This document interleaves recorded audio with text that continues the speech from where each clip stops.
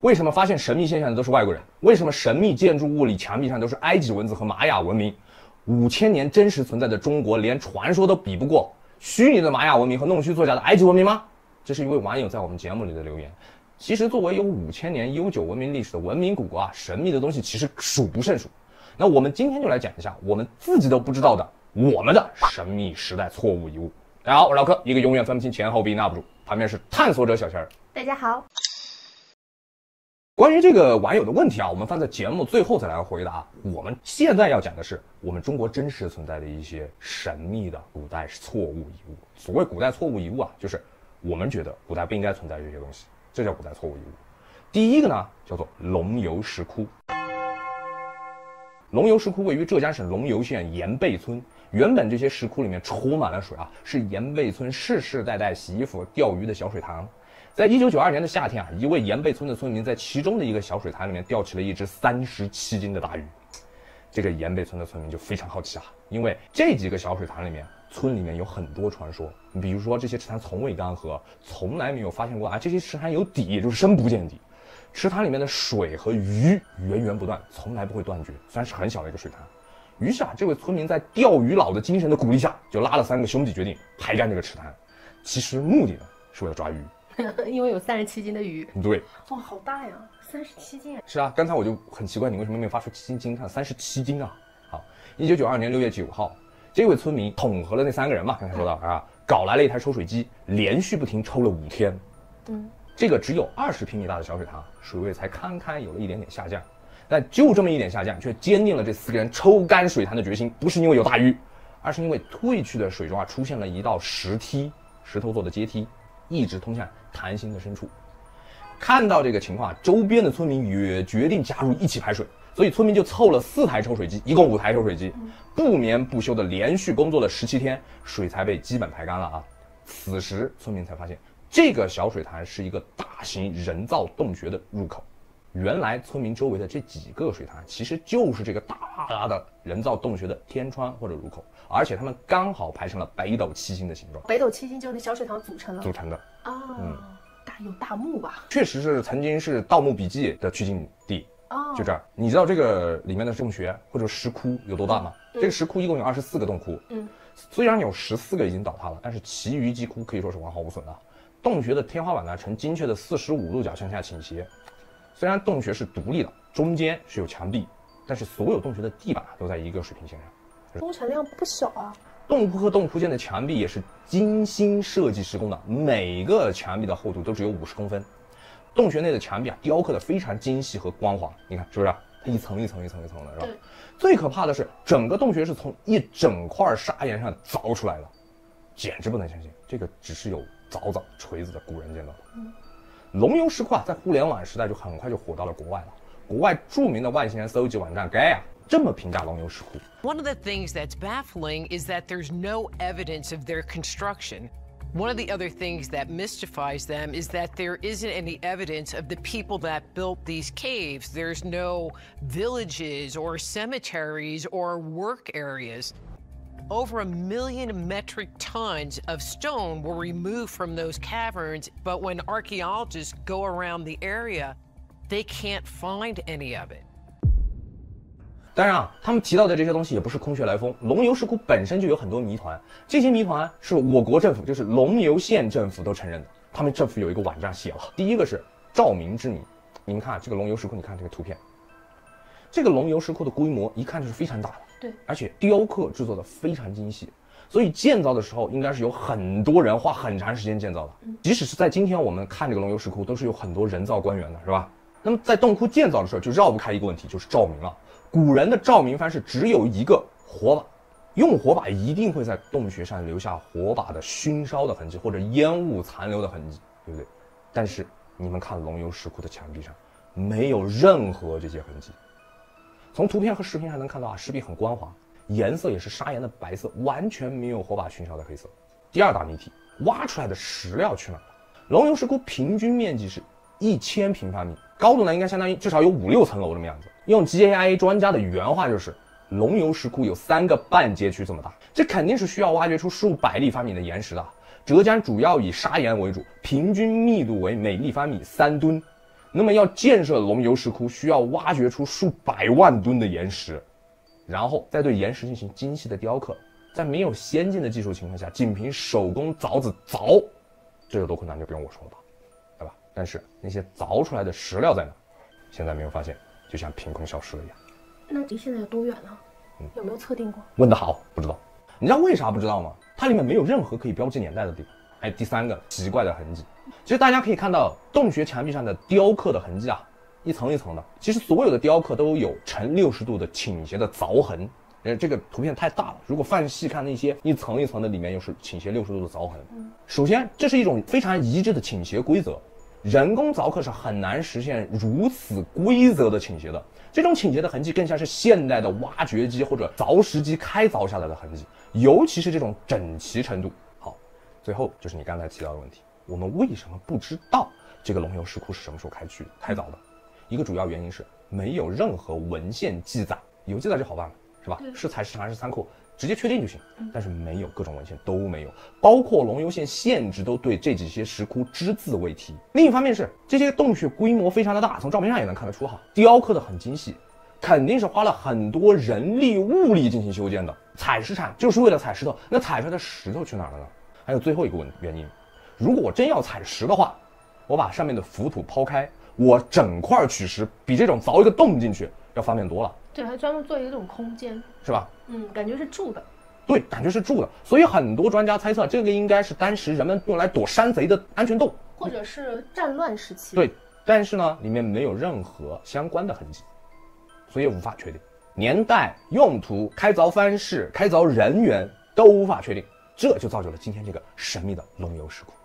之前我们有一期节目讲到过远古核战争，说在埃及的大沙海里发现了大量的绿色玻璃。可能是远古核战争的遗物。为了防止人类可能的再用核武器把自己炸没了，挪威政府于二零零八年设立了一个非营利性的全球性的植物遗传基因库——斯瓦尔巴全球种子库，也是建在砂岩山的内部的。据说能承受六点二级地震以及大单量的核武器攻击。所以，这个龙游石窟会不会是上一代人类为躲避全球核战争而建造的呢？不仅如此啊，其实龙游石窟还有很多谜团。现在呢，当地政府早就在，应该说早就在组织考察人员进行检测和保护了啊。龙游石窟会不会成为中国古代拥有某种失落的先进文明或者失落的高等文明的证据？不好说啊，现在就。第一个是没有办法测定这个东西，你你你碳十四你也没办法测定石头的年代，它跟地球同同寿。对，除非有人造物或什么啊，对，除非有人造物啊怎么样的能够标识这个年代，没有，限制也没有，所以没办法。我们再来看另外一个古崖石居。古崖石居应该是中国最大的悬崖住宅，其实也应该是世界上最大的完全在石壁上凿开的悬崖住宅。古崖石居呢，位于北京市延庆县詹山营东门营村西北二点五公里处的山坡上。一九八四年，古崖居在一次文物普查中被发现了，整个古崖石居全是在一个陡峭的花岗岩石壁上开凿的。花岗岩，嗯，这是个花岗岩啊！一共开凿了一百四十七个石室，石室内高度一般为一点五米到一点八米。石室的内部呢，设计成蜂窝状排布，组织成两个不同的村庄群，也就是这种东西有俩。石室的设计啊，从正方形、长方形到圆形不等，有的石室有很多房间，有的石室啊，甚至有很多层。上楼下楼的地方呢，还雕刻有放置梯子用的凹槽。非常精细的啊！古崖石居石室的门、窗户、火炕、烟道、灯架、桌子，甚至是牲口槽，全是由石头雕刻而成的。这些东西布局合理，设计精美，设计建造者应该有极高的这种家居风水布局能力。从建筑工程和设计专业的角度来看啊，洞穴的结构尺寸一致，岩壁厚度相同，布局紧凑。不仅如此，建筑设计者还设计了户户连通的石楼梯、桥梁、石桥哦。并且沿屋顶和道路边还设计建造了排水槽和收集雨水的系统，这些系统啊同样是在石壁上开凿而成的。这些细节啊都显示了设计者和建造者对环境管理的深刻理解和高超的设计技艺，还有一点强大的自信心。你不然它设计出来它全是凿的，你凿开就没了。它一定是啊，一定可以规划的很好，对，而且一定可以，对，他才这么干。你看，就是这边是床，里面是另外一个储藏室。这边是一个小窗台，就就是那种飘窗一样，我们放东西的地方。这里面其实还有一个灯，石油灯，你知道吧？很牛逼。凿的石阶，这边就是雨水流下来的这个这个应该叫什么导水槽，这边也是，这个导水槽下面还有一个收集雨水用的池塘，也是石头凿出来的。这是古崖石居，现在整个都是谜团啊！是谁建造的？为什么建造？如何建造？这些人最终去了哪儿？全都是谜团。就是考古学家推断啊，古崖居建造年代应该在一千年前到两千年前，怎么推断出来的？嗯第一，在近明代之后，北京已经是都城了，嗯你想搞这么大动作，不可能没人知道，嗯所以一定在这个之前。第二，这些推测来源于古崖居找出的文物，嗯最早只能追溯到辽代，哦，就是宋我们中原的宋朝之间，那也就是在个一千年前。但是这是文物推测，它只能推测说，哦，这有辽代的文物，对但不能确定说是古崖居就是那个时候凿的呀。对，所以推测到一千年的时差，一千年前到两千年前，那么宽的时止于两千年前？是因为没有没有那时候才有工具吗？不是，他们觉得两千年前这个地方没有人能有那么大能力开凿这些东西。嗯，第二个是，他们觉得两千年前的人不应该有那么强的设计、家居风水布局能力，所以他们觉得两千年到顶了。到顶了。但是没有铁证说啊，这就是两千年前的，没有这种证据，所以跨度很大。所以有很多国外的 UP 主认为啊，要么中国先民可能掌握了某种他们不知道的超先科技，嗯，或者有某种神秘的古代文明来到这儿帮助他们建造了这个东西。但是因为这种古代文明可能有某种原则啊，所以只帮他们建造，没有给他们超现代的科技，而且他们是有证据的。当然，这个证据我们先不论它算不算证据吧，但是他们自己觉得这是证据，而且证据来自秦始皇。怎么跟秦始皇又搭上关系了？好，我们就搭上现下一个题目——金字塔。首先，一般来说提起金字塔，大家会联想起来埃及，对吧？嗯。其实我们中国也有金字塔，而且数量、规模远超埃及，超过两百座金字塔。保守估计得有两百座金字塔在我们中国，在哪儿啊？有一部分在关中平原，也就是西安周边。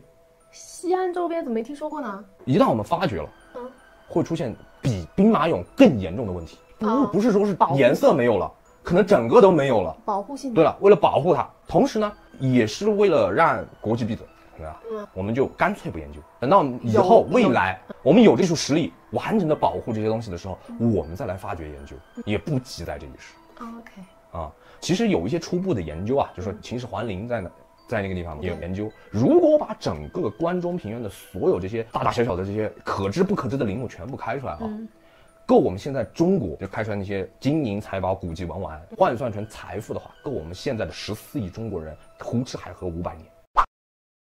我给你看几个图哈，图上这几座金字塔啊就是分散在关中平原的几座类似金字塔的山丘啊，只能这么说了哈。嗯其实，一九一二年，弗雷德麦耶施罗德在自己的游记里就记载了他在中国关中平原找到了很多金字塔。现在不同啊，我们有了卫星，这些金字塔就火到了互联网。为啥？因为这些我国的金字塔可能不仅仅是建筑学奇迹，还可能是超古代文明或者外星人有关。为啥？有这么几点。首先是这些金字塔的方向，其方向是精确的与地球的正南正北完全对齐的，修筑的非常齐整。其次呢，我们比较墨西哥的特奥蒂瓦坎金字塔、埃及的吉萨金字塔以及我们中国西安的金字塔群，会发现啊，这些金字塔的布局几乎完全相同。都对应着猎户座的三星，这就很奇怪了。这三个地方在四千年前有什么联系吗？最后是我国西安的金字塔啊，在春分的时候正对着天空中的双子座，但这个正对呢又有约十四度的偏差，正是这十四度的偏差让这些金字塔变得更加神秘了。因为这种偏差被认为是由地球的地轴摆动造成的。我们地球在不停的公转和自转的过程中啊，地轴不是固定的，而是在摆动的。这种摆动大约每两万五千七百年完成一次周期摆动周期，而这十四度的偏差代表一万两千年前左右的地球位置。也就是说，如果这个推测是正确的，那么这些金字塔和双子座对应，那么这些金字塔至少有一万两千年前的历史。我们五千年的文明古国一下子就变成一万两千年的文明古国了？那那之前的古籍对它有记载吗？没有啊，也是没有啊。那也很奇怪，如果它一直都存在的话，对，不仅如此啊，如果这些金字塔被确定了啊，嗯不光会让我国的历史往前推，而且还能证明我国当时的文明程度已经非常高超了。对，因为啊，如果这些丘陵真是现实是意义上的金字塔的话，那么它就是世界上最大的金字塔，它的面积是埃及吉萨金字塔的两倍还多，高度是吉萨金字塔的三倍，高三百米，吉萨金字塔只有一百四十八米。建造其中最大那个金字塔至少需要五千万吨石材，是吉萨金字塔的九倍还多。还不止如此，吉萨金字塔的采石场距离金字塔大约十公里左右，是能找到采石场，它的痕迹很明确。但是我们这些金字塔的材料来源目前不得而知。最近的能采到这样石头的地方超过五十公里，何必呢？有一种可能啊，嗯这些人觉得这不是问题，对不对？，easy。对 OK，一百公里他们都觉得很 easy。对，可能从北京过来也也很 easy。哎，可不可能是龙游石窟的石头呢是一？个石头吗？是一种石头？知道不知道嗯，就是说外国人是怎么觉得呢？嗯，为什么没有这种采石场的痕迹？会不会是龙游石窟的这个石头搬到关中？外星人在干嘛？只能有一种情况，外星人觉得哎，so easy 啦，对不对？对，啊，这种猜测才能成立。但我觉得不要这样猜测了。其实，如果我们中国政府开放研究啊，不会有人去研究埃及金字塔的，大家都会来西安研究这个了。对，研究好了，埃及的这些金字塔建造之谜早就解开了，是吧？嗯这种建造能力，如果说是没有高超的技术，或者说外星人的帮助，在一万两千年前建造，说出来不太会有人相信吧？我我的另外一个理论可能不是外星人，啊啊就是人类，啊，就上古人类。有这种能力，他们对，对上古人类他是有修仙能力，而且啊比现代人修仙要更加简单。这个也有人这么说，嗯没有痕迹，所以没有证据了。老外也不知道这么多啊，嗯，他们可能更倾向于他们的，因为他们没有过去，啊没有过去。对，我们是那过去比较苍白，他们只能想到未来，就是他们，他们就觉得很可能龙游石窟的这些石头去哪儿了？古崖石居谁造的？和金字塔应该是一拨人，他们这么就觉得，未来来的人吗？不是外星人或者说是超古代文明嗯，对，啊，他们就这么觉得。而且跟那个三星堆，三星堆博物馆不是，我觉得有可能是同一哎，他们的这个说法就是把这些东西串起来，三星堆就是这些人的塑像，啊，对，那些龙游石窟、古崖石居，还有这个金字塔，就是他们的干的。他们干的。其实那当然还有其他猜测啊，他们干了这个是为啥嗯？就觉得中国可能因为这个规模更大嘛，是吧？才是他们的据点，而且他们的据点就集中在关中平原这个地方。反正到目前为止啊，我国政府还没有准许任何关于这些金字塔，包括秦始皇陵的开挖或者考古探索工作。顶多就能用探测设备进行外部探测，所以呢，关于这些金字塔的谜团肯定还会延续下去啊！呃，我还继续说一个外国人的猜测，这个猜测非常不靠谱，那你为什么要说？说出来一乐嘛。和在航天飞机里面虐待外星人一样吗？我觉得这个比虐待外星人还扯啊！我觉得虐待外星人是真的，这个都不可能是真的。你们看啊，埃及、中国、墨西哥都有同样的金字塔，然后规模大小的问题，对吧？而且它们排布一样，对吧？几乎形状也是一样，对吧？那有没有可能这三个地方互为殖民地呢？殖民地对，要么埃及人殖民了中国，要么中国人殖民了墨埃及啊，墨西哥来殖民中国，中国殖民埃及，埃及殖民墨西哥，墨西哥又殖民了埃及。啊，对，就这意思。我觉得它建造成一样的，可能是几个地方当时的先民都发现了这个星宿的一些秘密，希望得到一些，不管他是为了干嘛吧，啊可能是为了成仙，啊或者是为了某一种仪式，或者是为了科技的一个什么尝试，都同时修了这样一些东西。啊，这个有可能，嗯这嗯，个完全有可能。跟殖民有毛线关系？这个说法其实它有诞生的时代背景，这个诞生的时代背景是一七一二年，也就是十八世纪嗯。欧洲那会儿殖民风风气很严重，啊，因为那个年代嘛，嗯非常严重，所以他们有这种想法，这个有时代背景，当然纯扯。所以我觉得我们在那个空间站里面虐待外星人都比这个靠谱。对呀、好，最后一个外星人遗址。图片上就是外星人遗址，这是政府清修哦。这是位于我国青海省海西蒙古自治州德令哈市东南方四十公里处的白宫山。为啥要讲这儿啊？这还是个政府行为，啊，官方认证。对，一九九六年一次研究考察，在白宫山山脚下依次发现了三个洞窟，在洞中啊发现了二十多根直径在两厘米到四十厘米的铁管，哎，这些铁管是嵌入岩层中的，管壁与岩石完美融合，不是那种先凿好个洞把这管子插进去那种，而是直接把铁管插到坚硬的岩石里面。洞口对面八十米处就是波光粼粼的托苏湖，后面就是托苏湖。就在离洞口四十多米的湖滩上，又有许多的铁管整齐而散乱地散布在裸露的砂岩滩上。这些铁管直径较白宫山里的要小，从两厘米到五厘米不等啊。还有一些铁管分布在湖水里，有的露出湖水面外，有的呢延伸进托苏湖，形状粗细同砂岩滩上的铁管非常类似。嗯，很奇怪是吧？有没有可能是现代人制作的呢？我告诉你，不太可能。这也就是为什么这里官方认证外星人遗址，因为这些铁管曾经送往积铁山冶炼厂化验室进行化验，啊化验认为白宫山铁管样品成分中的氧化铁的含量超过百分之三十以上，其中还有百分之六十左右的二氧化硅和氧化钙，也就是沙子。为啥会有沙子？因为研究人员解释说，这种情况是因为砂岩沙子与铁管长期锈蚀融合有关，所以沙子的成分就进入了铁管里面，对吧？还有百分之三到七的成分不知道是啥玩意儿。就是未知物质。对未知物质，他们就对这些铁管进行了年代测定，发现这些铁管至少距今有十多万年了。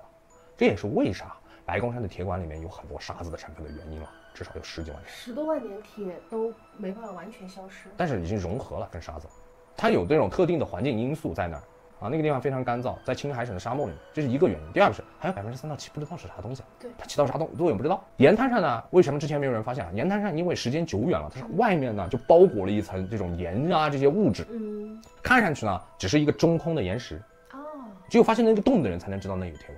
还有十多万年前谁能制作铁管？史书上记载，我们中国的冶铁技术也不过就两千年左右的时间，那么谁在那干的？上一代人类。啊，在对这些铁管的方向和排布组合进行复原以后啊，研究者惊奇地发现，这些管道可能是一个复杂的古代引水系统的一部分。虽然啊，在已经发现的三个洞穴中，有两个洞穴已经倒塌掩盖了里面的东西，但是从剩下的一个洞穴的铁管的走向和沙滩上各种管道的走向，可以发现这里原来可能是存在一个复杂而庞大的输水设施。如果这是真的，那么这些铁管的建造者必然是拥有高度先进的科技的。他知道输水、排水，对吧？他也能制造铁管。但是这里面也有一个问题，就是如果这些铁管真是一个集水排水设施，那么它的排布和现代我们理解的这种集水排水设施的布局是反着的。就是我们现代的集水排水设施是水源地一根粗管子，对吧？送到终端每家每户的是细管子。嗯，但是白宫山的铁管是脱素湖里的是细管子，用水处白宫山山顶的是粗管子，它是反着的。但十万年这种斗转星移的地貌发生变化也很正常啊。啊，是啊，但是没法解释嘛。